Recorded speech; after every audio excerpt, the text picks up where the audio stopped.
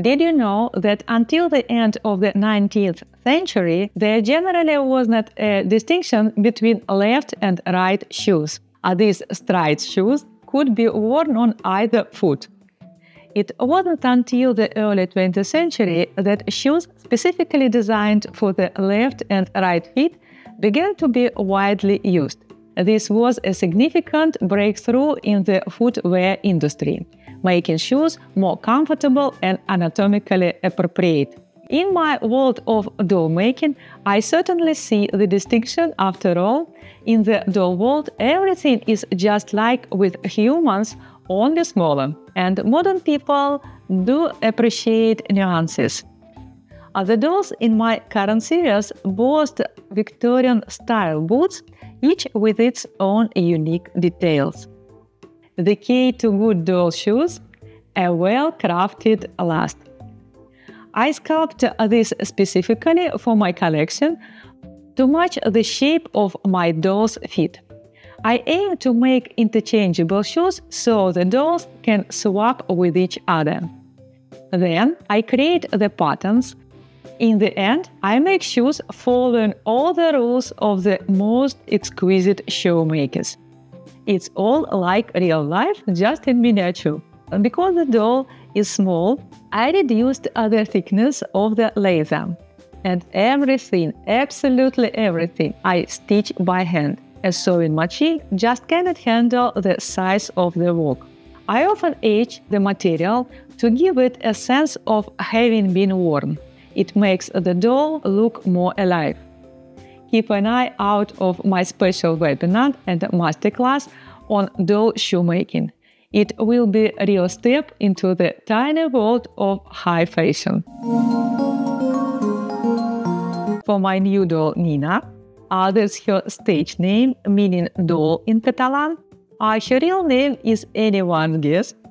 I'm crafting some snazzy tango boots.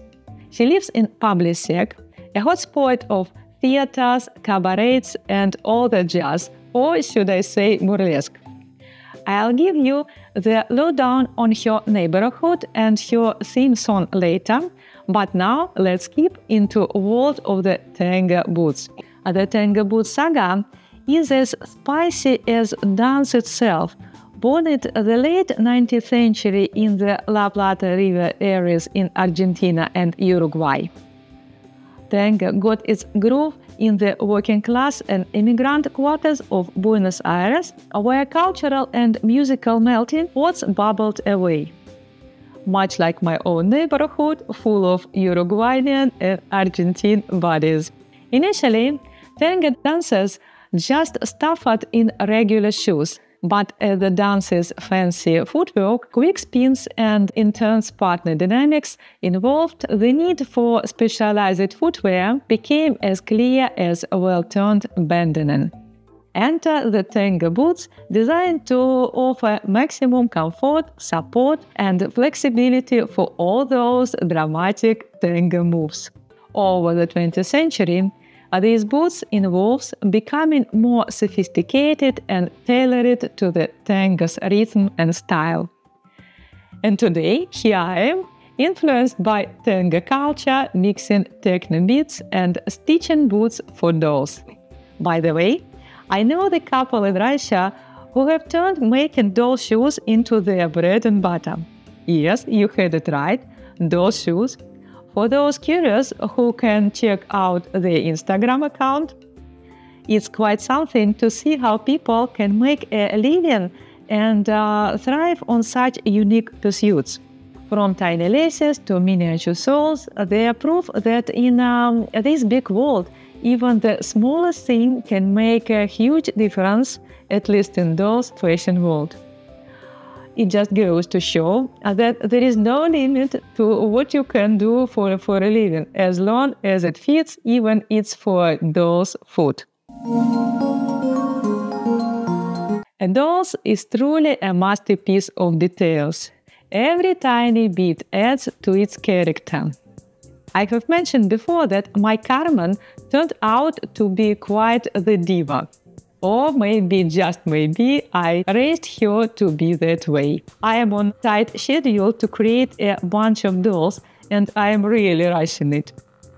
But let me tell you, dolls and haste are no go. I've already done her bodies, but Carmen's still throwing a fit. She is demanding new shoes, stockings, a hat, and hair still redo. Talk about high maintenance, she's a true lady. In my haste, I messed up the proportions of her clothes a bit, but I'm spotting my blunders. I see where I need to cut, trim, and sew to make the proportions more human like. I'll show you the results soon. In the world of dolls, even a millimeter matters, and Carmen, like a true fashionista, won't let me forget it.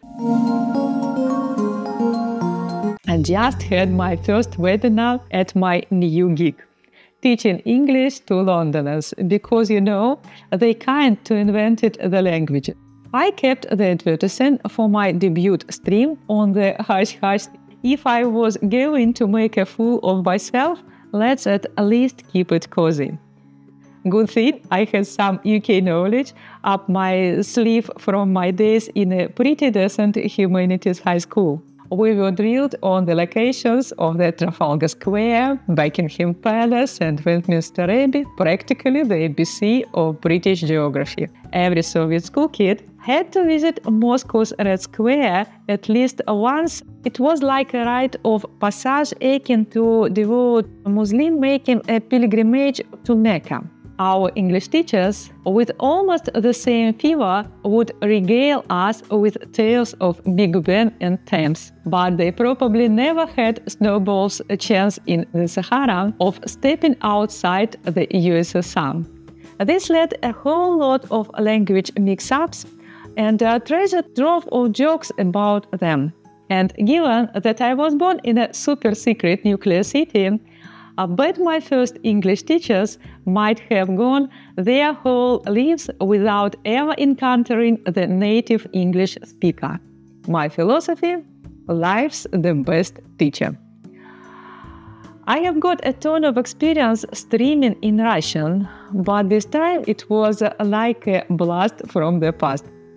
I had everything planned out. But as soon as uh, the camera turned on, my brain decided to take a quick vacation. It was a nightmare until my cat, sensing my panic, decided it was a playtime and started jumping on me. It broke the tension and everything became easier.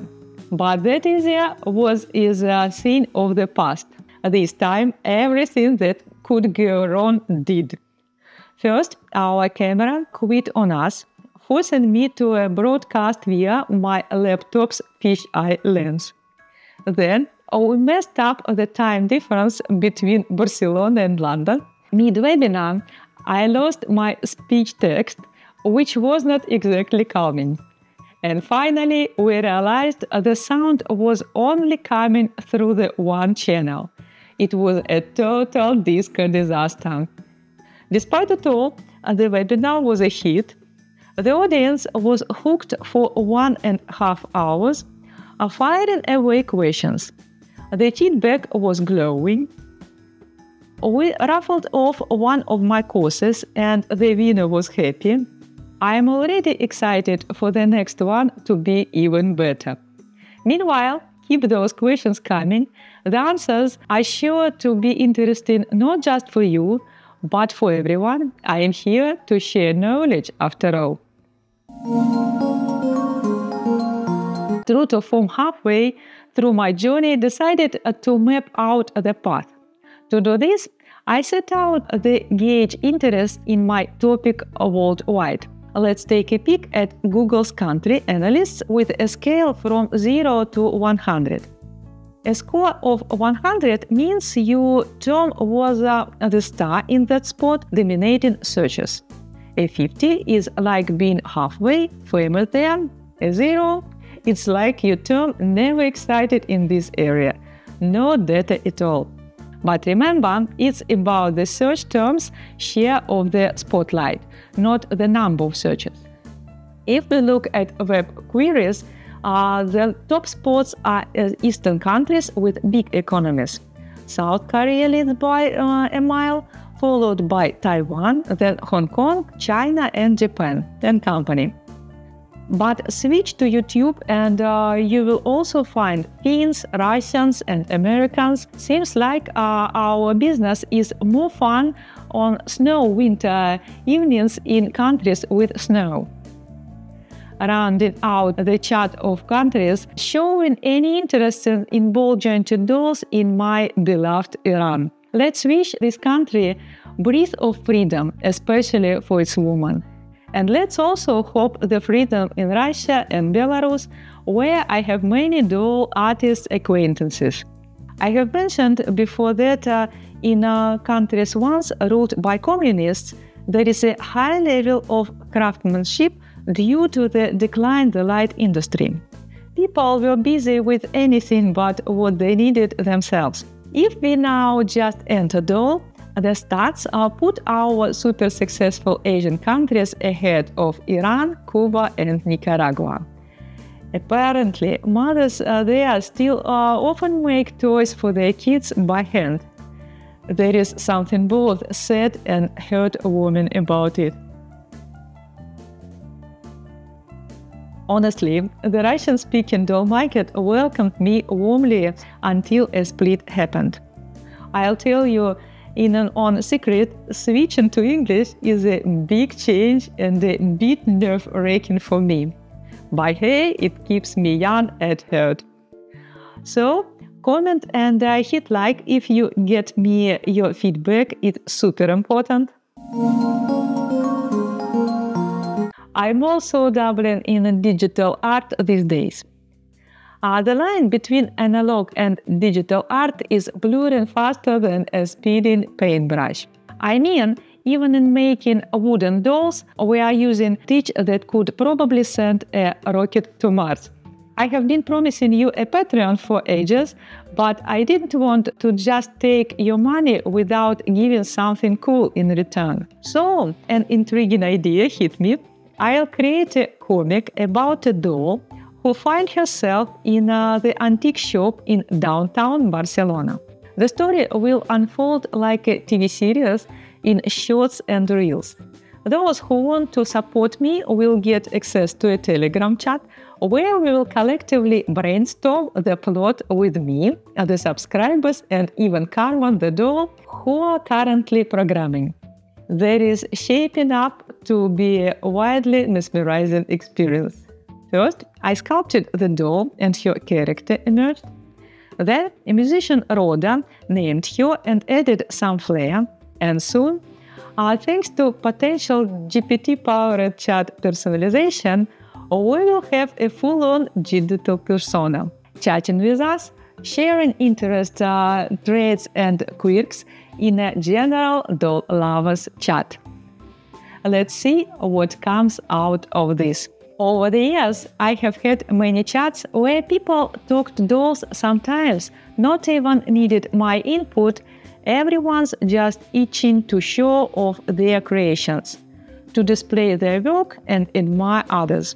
I want to harness the unfailing power of dolls and create a chat for patrons, for those who want to dive into this art experiment. Stay tuned for news on this collective creativity adventure. Welcome to the Handy Tips section. Today's topic around elastic bands for BJD. Ideally, uh, you would use the special BJD elastic. It's tighter if you can find it. But remember, uh, these are typically designed for smallest dolls, and all elastic tend to stretch over time. Here is how to give your elastic some extra oomph. The loops at the ends, secure one end to a handle and the other to a stationary hook, start twisting uh, counterclockwise, keep the tension even along the elastic to avoid any knots. When you feel the maximum tension, Fold the elastic in half, remove the handle, and tie the second end's loop to the hook. Thread the handle through the loop created by the tool keep it taut. Start twisting clockwise uh, evenly distributing the tension.